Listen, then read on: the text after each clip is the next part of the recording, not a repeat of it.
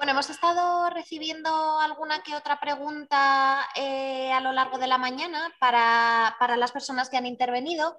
Em, algunas preguntas ya han sido respondidas sobre la marcha. Andrés, te he visto ir respondiendo a bastantes preguntas que te han hecho. Pero bueno, antes de nada querría daros la palabra a, las personas que habéis participado esta mañana por si bueno, tenéis alguna duda que hacer o alguna pregunta para vuestras colegas de esta mañana o, si queréis profundizar en algo más que hayan dicho vosotras o Ángeles, Carol, ha sido la primera a levantar la mano.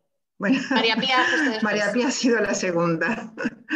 Bueno, sí, yo quería daros la enhorabuena, me ha gustado muchísimo escucharos a todo el mundo pero estoy absolutamente entusiasmada con Consuelo y su observatorio, como podéis imaginar. Para mí es como la puesta en funcionamiento de algo con lo que he soñado. Yo soy mucho mayor que toda la gente que está ahí. Empecé a pelearme por estas cuestiones de las mujeres y su representación en el mundo en el que yo pertenezco, que es el mundo de las humanidades y eh, lo hice en el año 90, así que ya llevaba bastante tiempo y espero que todo esto, mm, bueno, que, siga adelante y que yo lo pueda ver, aunque me queden los años que me queden, pero poderlo ver. Pero sí que le quería decir una cosa a Consuelo, que es que evidentemente en vuestro observatorio tenéis que trabajar con temas de bibliografía, tenéis que revisar las cosas que han sido publicadas, quién ha publicado qué, qué, representación tienen las mujeres, por ejemplo, en los estudios sobre cine o sobre crítica de cine, etc. Y quería llamar la atención sobre una cosa que supongo que ya conocéis, ¿eh? pero solo por si acaso. Yo ya la, he dicho en el, en el Consejo Superior de Investigaciones Científicas, en mi propia universidad y en otras, y es que existe una tendencia muy anglosajona en las revistas, en las revistas en general, de colocar en la bibliografía, en cuanto a los nombres propios, tan solo la inicial. De manera que eh, yo puedo aparecer como A. Querol, pero nadie sabe si soy Ángeles, es decir, si soy una mujer, o si soy Agustín, es decir, si soy un hombre. Si yo misma quisiera hacer un trabajo eh, bibliográfico, mm, bibliométrico, sobre la participación de las mujeres, por ejemplo, en la investigación sobre el patrimonio cultural inmaterial me encontrara con todas estas revistas que ponen J o A o C, pues no sé, porque no conozco a todo el mundo, si esas personas que han firmado esos artículos son hombres o mujeres. Yo me he llamado la atención sobre el hecho de que cuesta muy poco pedir eh, o escribir en las normativas de presentación de artículos de las revistas que eh, los nombres propios aparezcan completos. Es decir, que ponga Querol, María Ángeles, o que ponga Timón, María Pía y no MP o MA. Eh, Consuelo, no sé si esto ya lo habéis hecho, es un pequeño detalle que parece que no es importante, pero os recuerdo siempre que eh, uno de los problemas más grandes de las mujeres es que no nos han dado espacios para mm, estar en lo público. Y a veces eh, también ocurre con los hombres, como en este caso. También los hombres se podrían quejar diciendo, oye, yo he puesto J y resulta que alguien me llama en Inglaterra Jacinta y en realidad soy José. ¿Entendéis? O sea que puede haber una queja tanto por parte de hombres como de mujeres. Bueno, eso era mi, mi, charla hacia lo de Consuelo. También otra cosita, Consuelo, tenéis uno de los proyectos, es un informe de género en las colecciones y fondos de los museos. pues como yo he, he, sido también conservadora de museos, he trabajado en los últimos años con otras mujeres, ¿eh? En la publicación de artículos que seguro que conocéis sobre la representación de las mujeres en los museos de historia, en los museos arqueológicos. Entonces me gustaría preguntarle si es ese tipo de visión el que tenéis o eh, a, qué os referís cuando decís el género en los fondos de los museos. ¿Al género de las personas que trabajan con los fondos? ¿Al género representado por los materiales de los fondos? Bueno, eso no lo he entendido bien. Me gustaría que me lo explicara. Vale, pues oye, muchísimas gracias Ángeles. Yo también estoy entusiasmada con tu trabajo desde hace muchísimo tiempo, eh, por el que te doy la, enhorabuena. Em, y además me encanta, me encanta citarte. En, muchas intervenciones lo hago. O sea que antes de nada vaya por delante mi admiración por tu trabajo. Em, con respecto a eh, la, observación que haces con respecto al, tratamiento em, eh, bibliográfico, bibliométrico, eh, tienes toda la razón y es algo que hemos, em, hemos hablado entre observatorios. Lo hemos, lo hemos hablado, lo hemos comentado con, la, con la, responsable del Observatorio de Ciencia. y no sé en qué va a quedar porque no sé hasta qué punto podemos hacer mucho. Sí que te digo lo que sí que hemos hecho en el Ministerio, que no es estrictamente en relación con el tema bibliográfico, pero tiene, es un, problema muy parecido.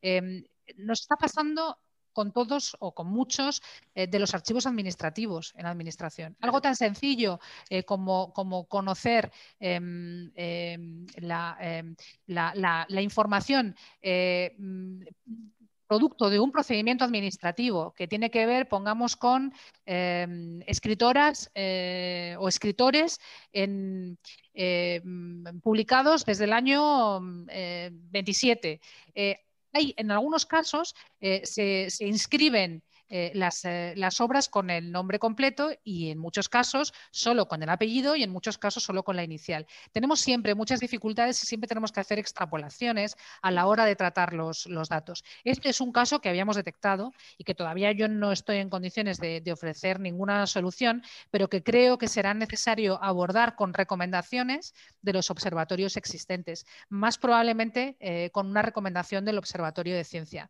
de Mujer y Ciencia.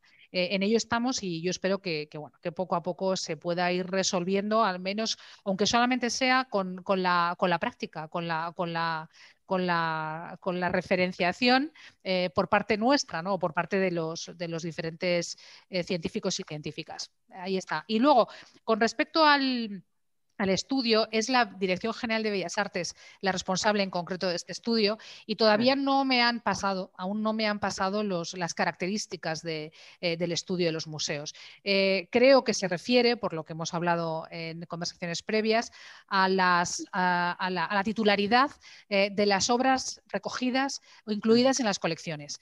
pero no, probablemente me esté equivocando porque estoy hablando un poquito de, manera, estoy hablando de oídas. De todas formas, eh, te haré llegar la respuesta, eh, Ángeles. Muchas gracias, muchas gracias, Consuelo. Muchas gracias a ti. La siguiente era María Pía, cuando quieras. Bueno, primero gracias ya. Era Sara un poco la que coordinaba hoy esta parte, pero yo de verdad me ha parecido preciosísimo, me ha encantado las intervenciones, enhorabuena. Bueno, estoy encantada. Yo quería comentar que, que, efectivamente yo creo que desde las distintas subdirecciones del Ministerio de Cultura, sí que casi en todas hemos iniciado iniciativas para favorecer la promoción y en este caso, por ejemplo, desde nuestra subdirección que lleva el patrimonio cultural inmaterial, pues el papel de la mujer, ¿no? la importancia del papel de la mujer, la presencia y la participación equilibrada tanto en los jurados como en las acciones, en las ayudas en concurrencia competitiva. Es decir, que como decía Consuelo, creo que todas las acciones necesarias para corregir la desigualdad en esa cuestión de, de jurados, de convocatorias. Lo, creo que lo estamos desarrollando, ¿no? Desde mi punto de vista. Pero me parece que quizá nos falte algo muy importante, que es la difusión de experiencias de éxito, de éxito de la participación de las mujeres, por ejemplo. Creo que es muy interesante que hiciéramos porque yo me he dado cuenta que las comunidades portadoras, que son de donde debería, debería partir ¿no? el acceso y la participación de las mujeres de esas comunidades portadoras, pues cuando se enteran de que determinada fiesta, determinado ritual han procedido de esa manera las mujeres, resulta que rápidamente ellos lo hacen a través de las redes. Entonces deberíamos contribuir a, dar esa difusión también de esas, digamos, experiencias de éxito, ¿no? que quizá esto no lo, no lo estamos haciendo. Y hay otra cosa que quería señalar que a mí me parece muy importante y es que con esto de la pandemia, curiosamente, no sabéis la importancia que han tenido las mujeres porque han liderado un movimiento curiosísimo.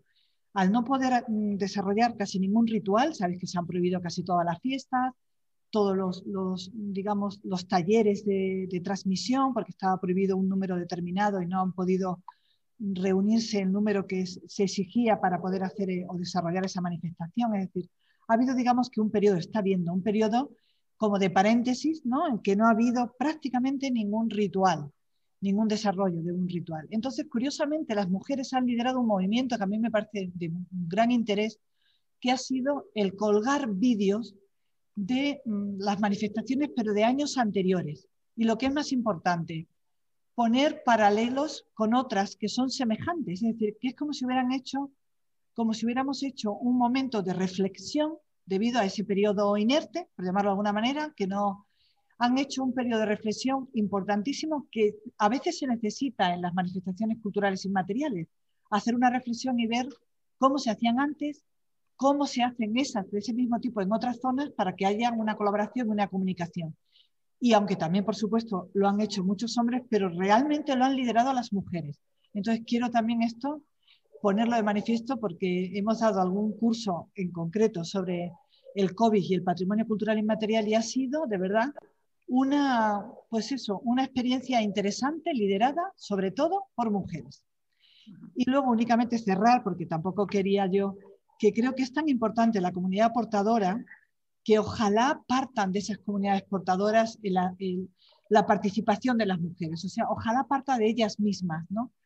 que no, no, tenga que ser alguien ajeno, que a través de, una, de una, un real decreto, de una normativa, de una ordenanza, ojalá parta. Y creo que también el que parta de ellas, también tenemos nosotros alguna responsabilidad, como decía, para difundir las experiencias de éxito y etcétera. O sea que solamente quería cerrar con esto porque no quiero, ya es muy tarde y, y solamente quería comentar esto.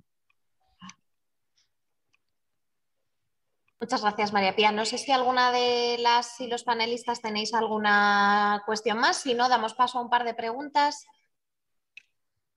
Vale, bueno, eh, por orden os voy comentando. Em, preguntan, en el caso del flamenco, ¿también podremos decir que son las madres quienes en el ámbito doméstico expresan su patrimonio inmaterial, pero lo han visibilizado sus hijos ante la sociedad?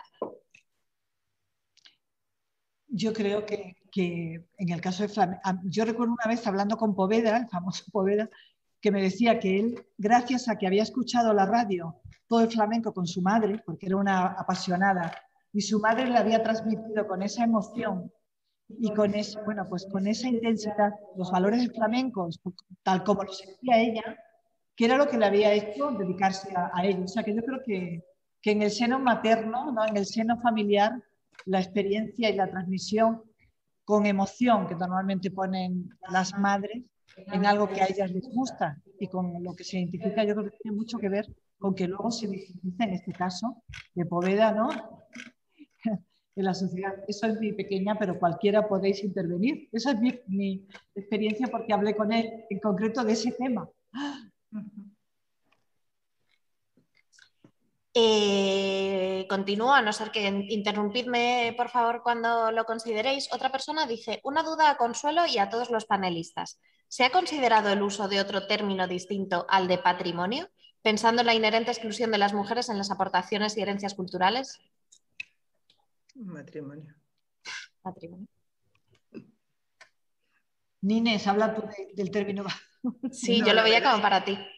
No, me acuerdo que en una charla que, di en, en el País Vasco hace relativamente poco, un arquitecto que estaba en primera fila y que no era precisamente muy, mm, muy agradable su postura ¿no? respecto a estos temas feministas, que eso ya sabéis que ocurre con mucha frecuencia, me dijo muy serio que ya era hora de que las mujeres decidiéramos cambiar patrimonio por matrimonio. Eh, entonces, claro, yo a mí solamente se me ocurrió decirle, mire, yo es que me he divorciado dos veces y estoy en contra del matrimonio. Entonces, bueno, pues la gente se rió, ¿qué vamos a hacer ¿no? en, en esos temas? Es muy difícil lo de cambiar la palabra patrimonio, aunque signifique evidentemente un aspecto absolutamente del patriarcado.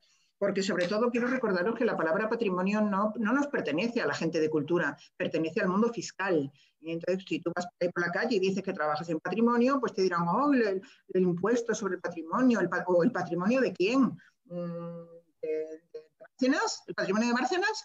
Es decir, que tú tienes que ponerle un apellido a lo que trabajas, patrimonio inmaterial, patrimonio cultural, patrimonio histórico, pues lo que sea. Entonces ya, ya entonces dicen, ah, bueno, como dicen, ah, bueno, eso, eso, no, eso no importa, lo que importa es el dinero. Entonces, bueno, pues es una mala palabra, yo lo reconozco. Hubiera sido más bonito hablar de herencia, como hablan en otros, en otros lugares, eh, pero... Mm, es muy difícil luchar contra las palabras y sobre todo, eh, os lo digo por mi enorme y larguísima experiencia en conseguir un lenguaje, eh, bueno, pues no sexista y en educar a mis miles de alumnos y alumnas en tener ojos para ver mm, y para sentir y para escuchar ese, lenguaje. Eh, es muy difícil cambiarlo y yo francamente no creo que sea tan necesario siempre que comprendamos a fondo cuál es su historia. Y respecto a esto de la historia, ¿veis? Me da, pie para comentar algo que Andrés ha hecho, que es darnos una historia, ¿no? Eh, entonces, a mí me hacía mucha gracia cuando hablabas porque pensaba, bueno, pues todas las, características que se exigen para que un patrimonio cultural inmaterial eh, lo sea y que María Pía ha enumerado, pues en tu caso no se dan. Eh, ¿Qué pasa con la comunidad? La comunidad aquella era en el siglo XVII, pues la comunidad murió. ¿Qué pasa con la vida, eh, la exigencia de vida? Pues la vida desapareció. Entonces, me ha hecho mucha gracia que tú estás hablándonos de historia, pero lo haces de una manera tal que al final dices y que se conserva hasta hoy. Y hasta hoy llega esa costumbre de que los olores sirvan para... Entonces, has hecho un enganche final en la actualidad para agarrarte de alguna manera a esa, al hecho de que tú estás dando una charla de historia en un contexto de patrimonio cultural inmaterial que se supone vivo y activo. Sí, correcto, pero eh, por alusiones, ¿no? Me parece.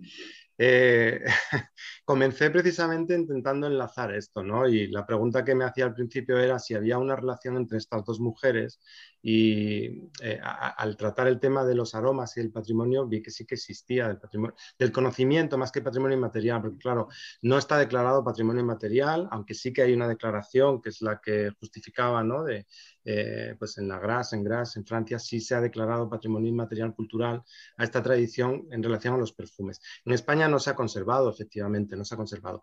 Pero sí que yo creo, y el problema es que no se ha estudiado, y me parece que lo interesante es lo que María Pía comentaba al comienzo en su intervención, de que la primera fase es la identificación. Entonces, si no sabemos identificar posibles patrimonios inmateriales que hoy están presentes, pero que tienen sus raíces y que han variado porque han cambiado, efectivamente, eso sí también lo justificaba, ¿no? Yo sé que está muy pillado por los pelos, porque efectivamente yo no, yo no me dedico al patrimonio inmaterial, o sea, yo trabajo en un museo y hago historia o arqueología o lo que puedo, ¿no? Pero, pero, sí que creo que hay una relación y sí que creo que hay una pervivencia de conocimientos que se han transmitido por las mujeres, ¿no? en este caso por las mujeres relacionadas con los aromas y con el uso cultural, mm, no solamente estético de los aromas, ¿no? sino con una aplicación doméstica. Ahí eh, realmente lo que hablabais del uso del vocabulario, de las palabras, y, a veces que desde los museos somos muy conscientes del lenguaje que, eh, que no utilizamos y de la, de la interpretación que de esto hace el público. Es decir, muchas veces no pensamos en el lenguaje que estamos utilizando. Por ejemplo, eh, cuando preparaba la charla no sabía si hablar del baño María ¿Sabéis de dónde viene el baño María? Pues es una mujer, de, no sé si era el siglo I o III después de Cristo en Alejandría, que es la que inventa, es una, es una físico o física, una, una mujer que se dedicaba a la alquimia y hasta el día de hoy utilizamos en la cocina como algo intrascendente, algo que realmente fue importante, ¿no? Entonces, em, eso no es patrimonio inmaterial, pero sí que es un reconocimiento de la participación de la mujer en determinados ámbitos que estaba, de los que aparentemente estaba excluida y que no lo está. Yo hablaba de esas tres esferas en la que una ha desaparecido, bueno, sí, la, de la élite femenina es la que ha desaparecido, esa transmisión oral entre las familias de la nobleza que se transmitían recetas, esa es la que ha desaparecido. La masculina no ha desaparecido porque los médicos han seguido elaborando recetarios y han seguido haciendo sus eh, investigaciones y lo que sea, ese es un mundo más bien masculino en el que también hay mujeres. ¿eh? Y luego queda el otro estrato en el que a lo mejor no interesa tanto o interesa desde otras perspectivas, que es el de las mujeres y algunos hombres también, que se dedican a, em, bueno, pues este tipo de actividades em, de curación en el que eh, creo que tiene raíces en lo mismo, porque usan las mismas plantas, usan las mismas sustancias, ¿no? Y probablemente nos remontamos hasta la Edad Media, ¿no? Claro, patrimonio inmaterial, tal y cual lo ha definido María Pía, no es patrimonio cultural inmaterial, no, no. María Pía. Bueno, depende también, porque yo pienso, bueno, primero, mm, Andrés, yo pienso que los museos son escaparates de cultura, eso no lo podemos negar. Y creo que vosotros, precisamente el Museo de América, habéis hecho un montón de exposiciones con una perspectiva de género importantísima. Casi todas las exposiciones que hacéis las hacéis mucho en clave de género. Entonces creo que merecéis estar presente en algo de patrimonio cultural inmaterial porque es verdad que el patrimonio cultural y material conecta el pasado con el futuro a través del presente, es cierto, ¿no? Pero yo creo que esa perspectiva que tenéis vosotros de casi todos los temas, eh, tener esa clave de género que expresáis, siendo los museos como son, escaparates de cultura, yo de verdad me parece que debéis estar y enhorabuena por la intervención, porque yo creo que hay muchas cosas, como decías, lo del baño María, muchísimas cosas que todavía se siguen diciendo, que forman parte de nuestro patrimonio cultural oral, ¿no? de, todo lo que es los refranes, proverbios, etcétera, que a veces tienen, vienen directamente de todas esas cosas que tú has podido comentar, ¿no? del pasado y es saber su, su origen y su identificación nada, para, para mí estupendo. Gracias, María Pía. Bueno, yo creo que esto no era un resultado de una investigación sobre patrimonio inmaterial, ¿no? Es únicamente un aporte en el que yo creo que sí que hay una, una posible identificación de conocimientos que se transmiten y, y, la intención era hablar de cómo esos conocimientos y esa transmisión de cultura a veces se centra muchas veces, ¿no? Se centra solamente en ámbitos femeninos, ¿no? Y es la mujer la transmisora. Eso es lo que más o menos quería comentar. Mm. Muchas gracias, Andrés. ¿Alguna cosa más? ¿Alguna cosa más? Sí, hay otra pregunta. Eh, bueno, son dos preguntas en una. Igual, María Pía, la primera es para ti, la segunda un poco más para mi intervención. Dice, si las manifestaciones son de la cultura de la comunidad portadora, ¿por qué tienen que intervenir las, las administraciones? Pues una pregunta estupendísima, me encanta.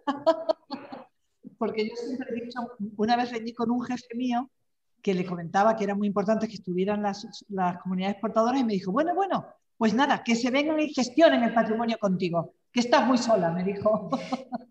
yo creo que, el Estado lo que debe hacer es eh, la, la, demanda que hagan esas manifestaciones culturales y materiales, la demanda que ellos hagan, el Estado debe desarrollarlas, pero deben partir las iniciativas tanto de si se declara una manifestación cultural inmaterial, ellos son los que deben decidir si esa manifestación es identitaria para ellos, se declara o no. Incluso si necesitan hacer un, si es patrimonio o no, es decir, si quieren hacer un inventario, debe ser, como lo dice UNESCO, con la participación activa en la gestión de esas comunidades portadoras. Creo que las comunidades portadoras hoy por hoy ya están casi en situación de, tener ellos su propia iniciativa y su propia metodología, pero creo que todavía les podemos de alguna manera apoyar, que es la palabra, apoyar para mm, sus iniciativas y sus y bueno, todas las acciones que ellos consideren que son mm, imprescindibles para su salvaguarda, es decir, pero partiendo de la iniciativa de ellos el, Estado debe tomar las, las, acciones que ellos consideran que son imprescindibles para su salvaguarda. Pues María Pía, aunque solo te he leído la primera pregunta, has respondido también a la segunda, porque preguntaba que si una manifestación en la que solamente participan hombres y las mujeres de la comunidad están de acuerdo, puede llegar a ser bien de interés cultural. Sí, claro que puede, así ha ocurrido de hecho muchas veces y quería conectar también esta pregunta con una pregunta nuestra para las, em, compañeras del Mystery Dells, eh, para que como las últimas diapositivas han sido las más aceleradas y personalmente eran las que me parecían más interesantes, para que profundizaran un poco en esta situación, que igual desde fuera de la comunidad nos puede resultar muy desigual, una situación un poco en la que quedan aisladas o excluidas las mujeres, pero que, habéis eh, confirmado que no existe una demanda por parte de la comunidad. Así que, bueno, si podéis con un poquito más de calma en unos minutos contarnos un poco más al respecto. Hola, buenos días, otra vez. Eh, a ver, no sé si nuestra compañera Mariger está también a lo mejor ella eh, quisiera comentar alguna cosa. Sí, hola, buenos, buenos días a todos. Eh, ¿Me escucháis? Sí, Marijer. Sí, no, no, Carolina, si quieres, eh, como la parte, la parte final de plan de igualdad y demás, puedes comentarlo, puedes comentarlo tú. Yo, por mi parte, bueno, lo único comentar que que como habéis visto sí que ha habido esa, evolución eh, de la mujer, eh, incluso dentro de la importancia del, rol de la mujer en la gestión del misterio del, desde el último tercio del siglo XX y como habéis podido ver sí que eh, hemos ido evolucionando y cada vez tenemos pues mayor participación y el único es la única excepción es la que bueno ahora o Joan o, Carolina pueden, pueden profundizar más en ello, pero esa excepción, digamos que será es, esa tradición medieval y esa especificidad que tenemos dentro de, este teatro, teatro medieval. Eh, que también se, bueno, de alguna manera, pues em, forma parte eh, de, todo el expediente que en su momento se hizo para la declaración eh, de UNESCO. Y, bueno, y digamos que la, participación de la, mujer se está produciendo de una manera natural. O sea, cuando ha habido algún tipo de de cambio en, el propio, eh, las propias representaciones, eh, no, relacionadas principalmente con la mujer, con otras cuestiones, por ejemplo, a nivel de, como han comentado mis compañeros, del cambio de los cantores, que en principio eran eclesiásticos y luego pasaron a ser laicos, y la comunidad eh, portadora, digamos que es el pueblo, el propio pueblo de Elche, pues bueno, esa cuando ha habido unos cambios naturales, eh, se han manifestado de una manera, hemos ido evolucionando. Cuando en un momento determinado sí que ha habido unos cambios eh, más forzados, eh, digamos que ahí es donde ha habido grandes, grandes polémicas dentro de la propia comunidad portadora. Entonces, en el caso que nos ocupa en este momento, que es la, participación de, de, la mujer, pues bueno, todo esto ha ido produciéndose de una manera como os decía, eh, natural y, adaptándonos a, la sociedad, a la sociedad actual. Eh, lo único que queda pendiente es el tema polémico, pero ya, os digo que es esa excepción cultural eh, que los niños, que tienen una justificación interna que desde, desde fuera no se puede ver si tú no conoces todos los entresijos y particularidades que tiene el propio Ministerio con las voces de los niños, eh, la renovación de esas voces y, que los propios, la propia comunidad portadora, en el caso, por ejemplo, de los niños, hay ese, tiene que haber ese cambio y esa, esa evolución para que puedan participar un mayor número de, de, niños y que no siempre sean los mismos por el propio cambio de voces, pero bueno, es una cosa más específica de lo que es la música, eh, la música y las propias voces, pero bueno, sobre todo eh, lo que os comentaba, que poco a poco está, estamos eh, se ha ido produciendo esa, esa incorporación de la mujer de una manera natural y como también ha comentado Ángeles, Ángeles Querol, bueno, que somos mm, de alguna manera dentro de las manifestaciones de patrimonio cultural con, una protección, eh, eh, digamos que ese reconocimiento, por ejemplo, de la UNESCO, eh, no, no, ha contribuido a ese blindaje o fosilización, sino que vamos evolucionando en base a la, sociedad actual. Y yo los pormenores, si queréis, le doy paso ya a Carolina y a Joan para que os expliquen más bien los pormenores de la pregunta más concreta que ha que ha dicho, bueno, que nos ha comentado Sara. Sí, gracias, Mariger. Eh, a ver, yo desde mi punto de vista y el patronato, el, el Misteri d'Elx, la festa, es mucho más que, la, representación solamente. Ya habéis visto que, que engloba tantas manifestaciones alrededor de la festa y ahí sí que la mujer ha ido incorporándose y además en los últimos años o sea, bastante. Con lo cual es seguir la propia evolución. Mm, están en esa representación los tres niños que, cantan la, María y las dos Marías y pues de momento lo que hemos comentado, no tenemos una manifestación social, una demanda social así importante al respecto y bueno, pues tampoco consideramos que las cosas hay que forzarlas. Ya eh, todo ha ido evolucionando y, pensamos que así seguirá. Pues no sé si Joan quería aportar alguna cosa al respecto. Bueno, comentar un poco, se ha dicho, los, los, niños y las niñas pueden cantar igual, también son cantores, pero hay, hay que tener en cuenta también algunas algunas características que hemos visto eh, también en, otros, en otras manifestaciones. eh, los niños que participan y que cantan los, papeles de las Tres Marías eh, pertenecen a una escolanía y cantan aproximadamente como cuatro o cinco años. Entran a los siete o ocho años y cantan hasta que cambian la voz por, por desarrollo natural. En el caso de las chicas no cambian la voz, entonces, podría darse el caso, porque se ha dado en, algunas manifestaciones, por ejemplo, en el canto de la Sibila, que eh, si una niña canta bien, va cantando y va creciendo y llegan a ser ya jóvenes, incluso adultas, y siguen interpretando el papel, con lo cual habría un cambio dentro de la, no solo de la representación, sino de la propia estructura de la escolanía y de la forma de aprendizaje y de la forma de transmisión.